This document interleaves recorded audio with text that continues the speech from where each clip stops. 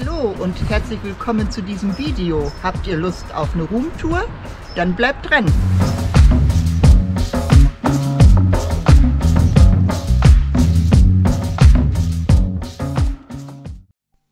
Wir fangen mal im Cockpit an. Der Unterbau ist ein Peugeot, 2 Liter, 160 PS. Die Front- und Seitenscheiben kann man mit Plissés verdunkeln.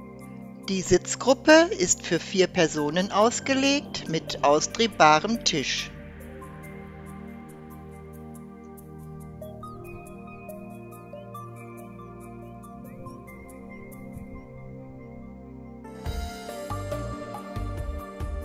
Über dem Küchenbereich befindet sich ein großes Dachfenster, des Weiteren eine Klimaanlage und im Heck eine Lüftungsdachluke.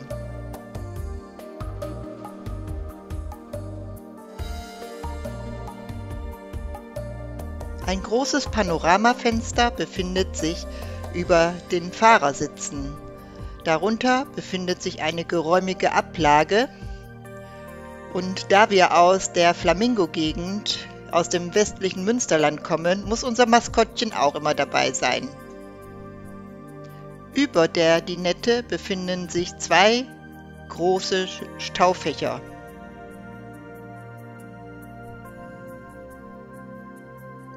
Und ein 22 Zoll Fernseher.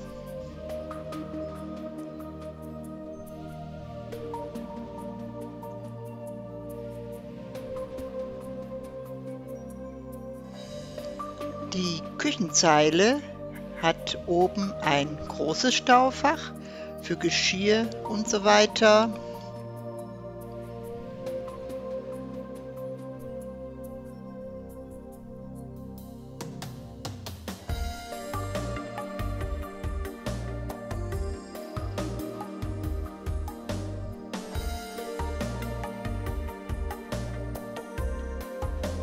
Die Rundspüle ist schön tief und es gibt einen drei Flammenherd.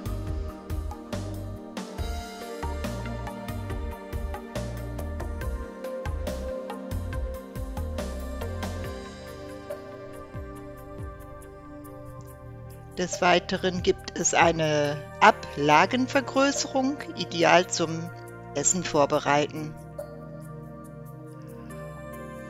Unten befindet sich eine große Lade für Besteck und Gewürze etc. Links darunter ist ein Topf- und Pfannenschrank. Und rechts daneben ist unser Lebensmittelschrank. Der Vorbesitzer hat hier zusätzlich drei Ausziehkörbe installiert.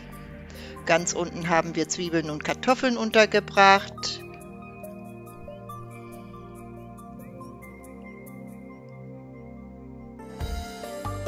Unter dem Kühlschrank befindet sich ein großes Fach. Passend dazu wurde eine Lade gebaut, in der alles Mögliche reinpasst.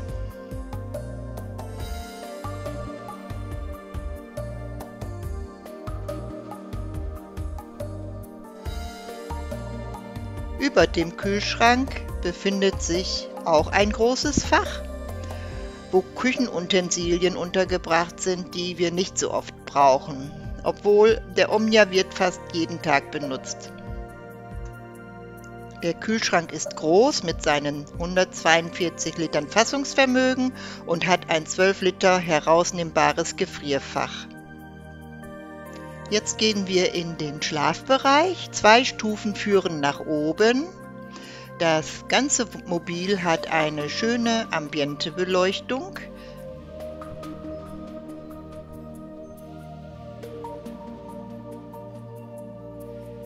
Vor den Fenstern haben wir je ein Brett zum Schutz vor Kälte jetzt im Winter. Die kann man entfernen. Die Staufächer reichen aus, um Anziehsachen unterzubringen.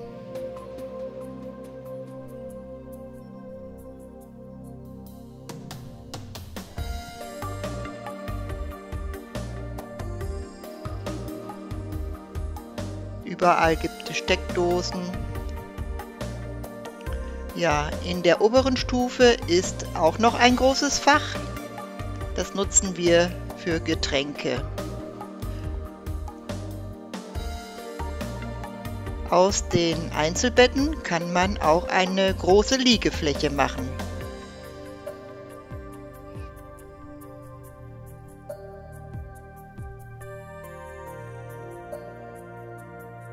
Ja, jetzt haben wir rechts und links auch noch so Staufächer. Hier hat der Vorbesitzer auch ähm, so, so ein Kratten oder Kisten. Regalsystem reingebaut. Das ist ganz praktisch. Können wir was sortieren. Linke Seite. Ja, da ist das große Kissen drin für das große Bett. Habe ich gerade schon gezeigt, wie man das macht. Ja, und da ist auch ein Kleider, eine Kleiderstange drin. Da könnte man dann auch Sachen aufhängen.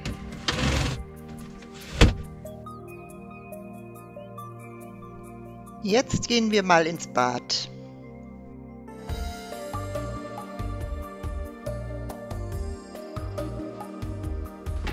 Also Platz ist hier genug. Ich kann hier mal die Dusche raus.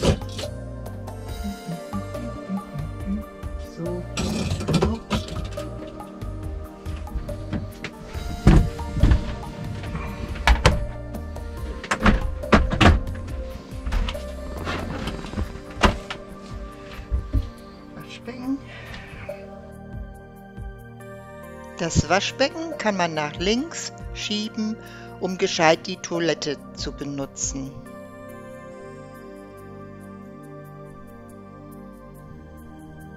Der Vorbesitzer hat den Toilettenspülknopf nach vorne gelegt, sowie den Papierhalter in die Wand gelegt.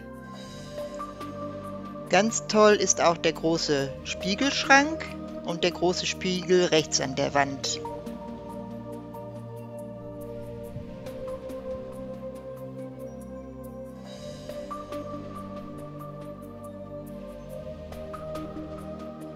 Tür schnappt per Magnet zu.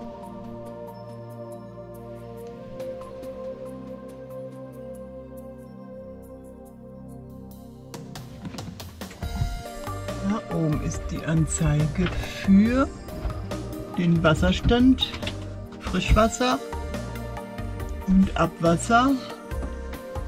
Moment, da ist Abwasser. Ja. Also 25% Abwasser ist jetzt drin Ja, das steht schräg. Das ist und halb voll Frischwasser. Ja. Dann links haben wir die Batterie, die Bordbatterie und die. Ne, das ist die Bordbatterie. Ach, das ist die Bordbatterie. Ja, und das ist die Aufbaubatterie hier. Ja. Und wir sind ja jetzt am Strom angeschlossen. Landstrom. Das ist das Zeichen da oben, dass wir Landstrom haben.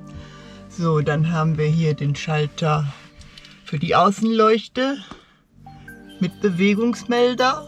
Mhm. Und das ist die Truma, Truma-Anzeige für Ja. Heizung, für Warmwasser. Funktioniert auch über E-Net, also fern, fernbedient. Ja. Und das ist noch ein Thermometer. So, oben ist die, Gefrierfachtemperatur. ja, Das ist die Kühlschrank. Kühlschranktemperatur. Das ist die Rauminnentemperatur. Und das ist äh, die Außentemperatur. Ja. Und 97% Luftfeuchtigkeit, also es nieselt. So, jetzt gehen wir nach draußen, ne? Das ist eine elektrische Trittstufe.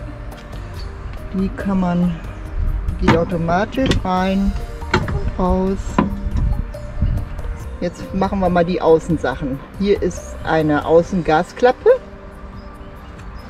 Das ist ganz toll, wenn man im Sommer mal draußen grillen möchte, ne? Hermann? Ja. Ja. So. Was haben wir hier? Ja, 12 Kilo, aber die ist jetzt leer. Oh, Die ist leer. ja.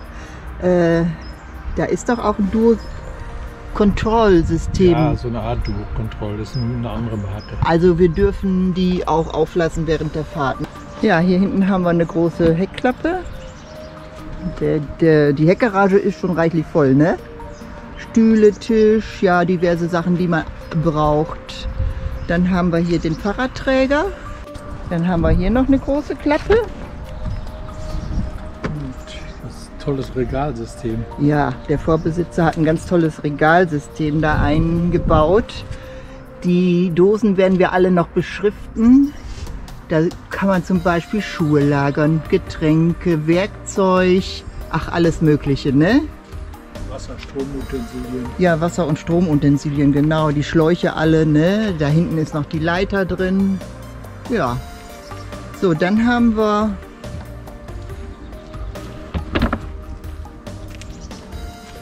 hier eine Klappe. Da die ist Toilette die drin, ne? Toilettenkassette drin. Genau. Also der äh, Wagen ist wintertauglich, ne? Da ist auch ein Frostschutz drin, oder? Ja, eine Heizung läuft hier. Ja. Ah ja, super. Und was ist das hier? Die schöne Lasche hier. Ach, ich weiß. Damit das Tropfwasser hier rüber äh, von der Heizung hier Ja. rüber weg kann. Ist da noch eine Klappe? Die befindet sich unter dem Fenster vom, vom Essbereich, ne? Da ist dann, da ist der große Wassertank drin. Frischwassertank und Abwassertank. Wie viel Liter? Und Stromzufuhr. Ja. 90 Liter Frischwasser.